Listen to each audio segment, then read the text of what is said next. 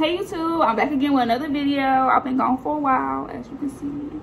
I was in boot camp and then A school, and then I finally decided to do this video. I was being going to do an A school, but I pushed it back. I don't know why, but anyways.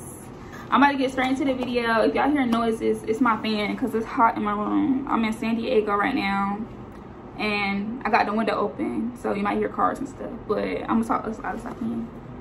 But we about to get straight into the video.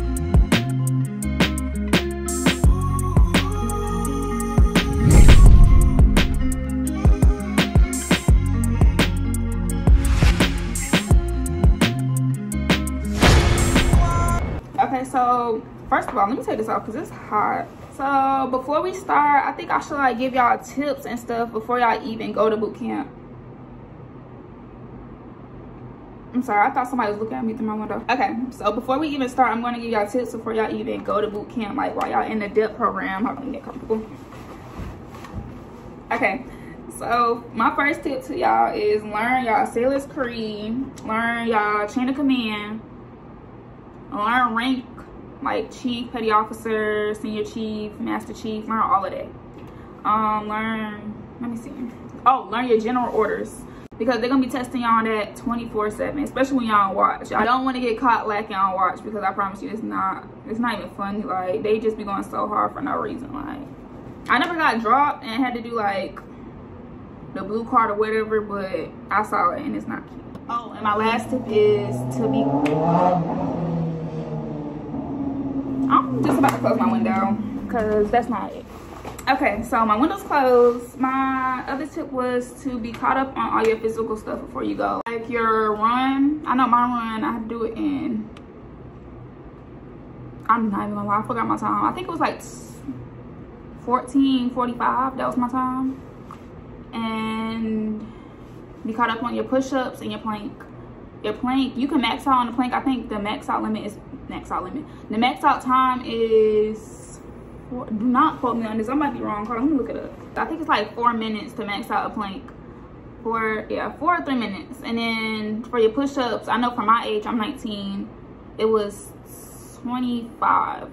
But yeah, um, just be caught up on all that stuff because that'll make boot camp so much, so, oh my God. When I say so much easier, it'd be a breeze, literally. If you caught up on all that stuff I just said, you don't even got to worry about nothing. You won't be scared.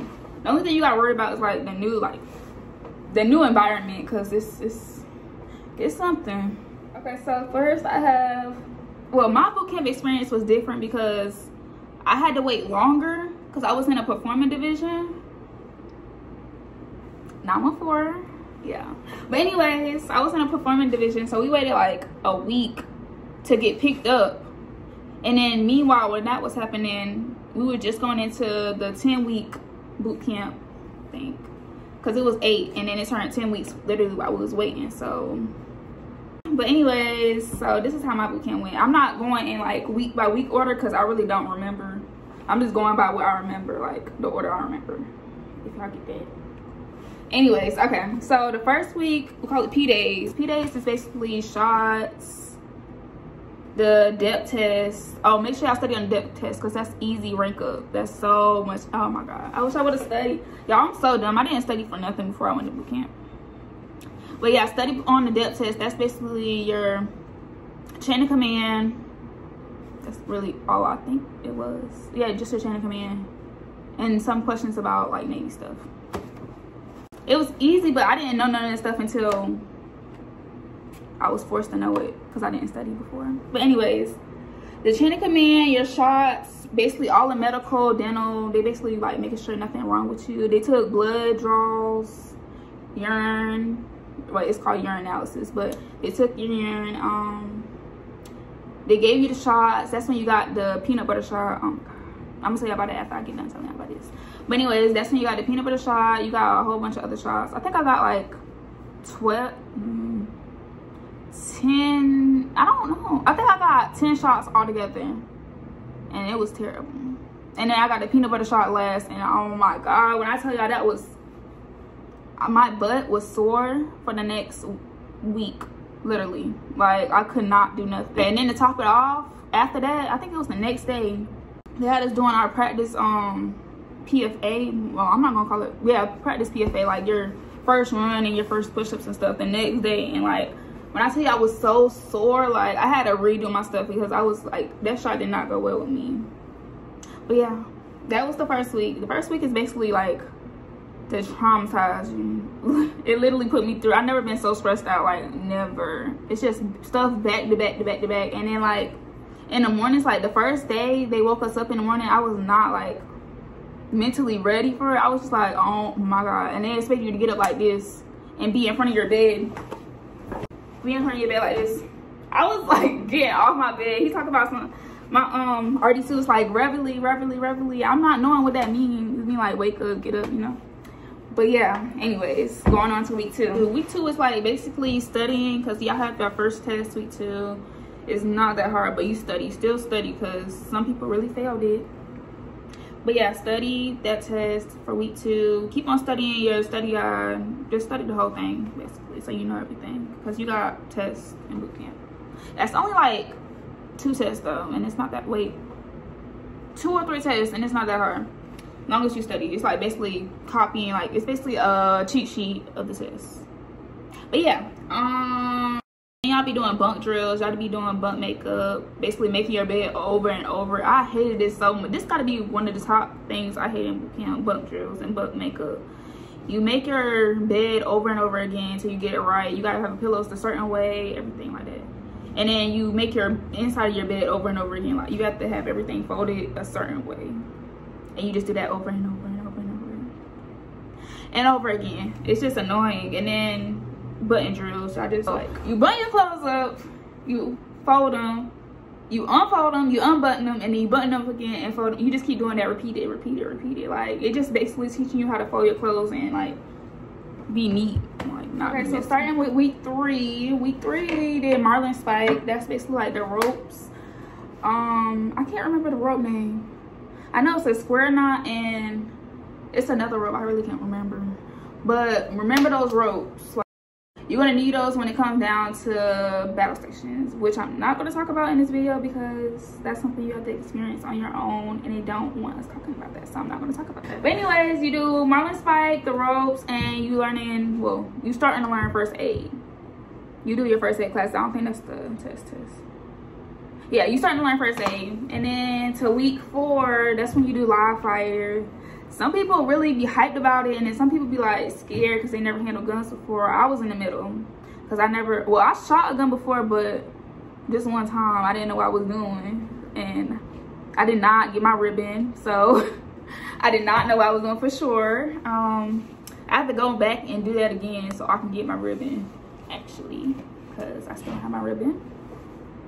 But yeah it was an experience. I mean it was fun. I just didn't hit the target enough times but anyways, next.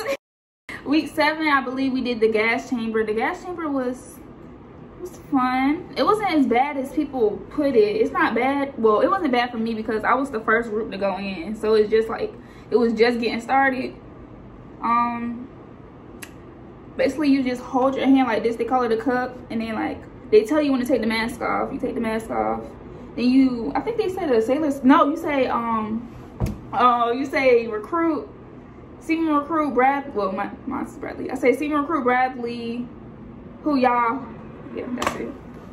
But yeah, it was fun. It was like hype. And then all our petty officers and, well, all our RDCs was in there with us. So it's like real fun. It's an experience I will always remember because, but yeah, I didn't feel it when I was in the gas chamber. I felt it really when I got out. It, it like kicked me, like punched me in my face. Like, it, I really felt it. Like, it was like, you just gotta keep blinking your eyes to like get it out. But that was fun. I liked it. I liked it week eight was test two. Y'all don't don't clown me but i failed test two. I did not study. Like i once test one was done i didn't really look at that book. But i took it again and i got 100 so it didn't matter. But yeah that was test two. I don't remember precisely what else we did. Like really all our stuff was like expand out and we really didn't do well we did a lot but we we had a lot of downtime because it was just the beginning of the 10 week boot camp and they was trying to figure out everything and they didn't really have much for us to do at the time. But yeah after that week week nine we had battle stations. Battle stations was awesome. I'm not going to tell y'all what we did because we're not supposed to do that. Anyways after that week 10 we had the official pfa which i don't like. It's so close. Excuse me. I don't like it so close to graduation because people be feeling it and like your family members already buying the tickets and stuff like that. So they already coming. So it's kind of sucky for the people that failed it, but it was official PFA. You do the run, you run. I literally ran my heart out so much. And when I was running, I was literally crying. Like that was not about to fail. I was so stressed out I was gonna fail because yeah, it's just scary. It's really scary. Like not even my push-ups. I know I have my push-ups and my planks. It's just that run. And then the Freedom Hall, the air is so muggy there. You just like you feel like when you run in, you breathe in, it feels like like I don't even know. Like you can't breathe sometimes. But it was very very scary for me because I'm not a runner at all. But but yeah, it was very. It was a boot camp was very a very very very new i don't even know what to call it a new experience it was fun for me towards the end but then the, like the first two weeks i was so scared i wanted to go home i did not like it but it was worth it. I say it was well worth it so put me in the position i am now it was very worth it. I would do it again but i wouldn't like it but i would do it again. Um i advise y'all to go for leadership roles like RPOC a-rock yeoman. I didn't do it because i was just trying to sit in the back and get through it but it's really no sitting in the back because they're gonna see you and they're gonna get on you. After that graduation was nice. I'm gonna put some pictures up of my graduation. I was i was in a performing division as i said. I was um in the choir. Performing divisions have the choir the flags the band and yeah i was part of the choir. It was so fun. It made boot camp better in my for me. It made boot camp better for me because you know it was like a distraction. I just get away for a second. And they weren't yelling at you or nothing. It was just better for me. But yeah this is the end of my boot camp experience and tips videos. Make sure y'all like comment and subscribe